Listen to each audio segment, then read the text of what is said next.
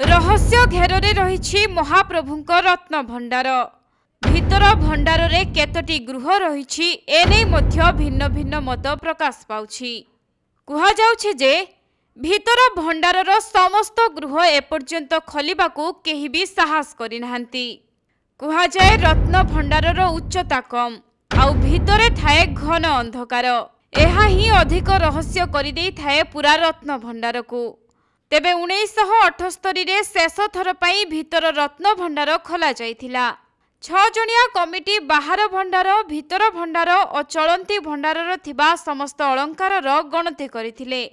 ମେ ତେର ତାରିଖରୁ ଜୁଲାଇ ତେଇଶ ତାରିଖ ପର୍ଯ୍ୟନ୍ତ ପ୍ରାୟ ସତୁରୀ ଦିନ ଧରି ଚାଲିଥିଲା ରତ୍ନଭଣ୍ଡାରରେ ଗଣତି। ଆଉ ଏହି ଗଣତି କାର୍ଯ୍ୟ ସମ୍ପର୍କରେ ସମ୍ପୂର୍ଣ୍ଣ ରେକର୍ଡ ଶ୍ରୀମନ୍ଦିର କାର୍ଯ୍ୟାଳୟ ନିକଟରେ ରହିଛି। ତେବେ ଶ୍ରୀ ଜଗନ୍ନାଥଙ୍କ ରତ୍ନଭଣ୍ଡାରକୁ ଶ୍ରୀ ଲୋକନାଥଙ୍କ ଚଳନ୍ତି ପ୍ରତିମା ଜଗିଥାନ୍ତି ବୋଲି ଲୋକକଥା ରହିଛି। କୁହାଯାଏ ଯେ ଯେଉଁ ସମୟରେ ବହୁ ଦ୍ୱାର ବିଶିଷ୍ଟ ଭିତର ଭଣ୍ଡାରକୁ ଖୋଲିବାକୁ ଉଦ୍ୟମ ହୋଇଛି ଅନେକ ପ୍ରକାର ବାଧାବିଘ୍ନ ମଧ୍ୟ ଘଟିଛି। ଅବଶ୍ୟ ଏହାର କିଛି ପ୍ରମାଣ ଲିପିବଦ୍ଧ ହୋଇନାହିଁ କିନ୍ତୁ ଅନେକ ପ୍ରକାରର ଲୋକ କଥା ଓ ପିଢ଼ି ପରେ ପିଢ଼ି ରହିଥିବା ବିଶ୍ୱାସ ରତ୍ନ ଭଣ୍ଡାରକୁ ଅଧିକ ରହସ୍ୟମୟ କରିଦେଇଛି।